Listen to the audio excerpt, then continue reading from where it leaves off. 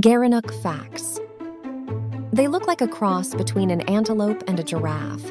Some of the most notable characteristics of the Gerenuk are its long, slender neck and thin legs. Gerenuks never need to drink. These animals get all the moisture that they need from the plants that they consume. Only males have horns. The ridged, curving horns that help give Gerenuks their distinct appearance are only found on males.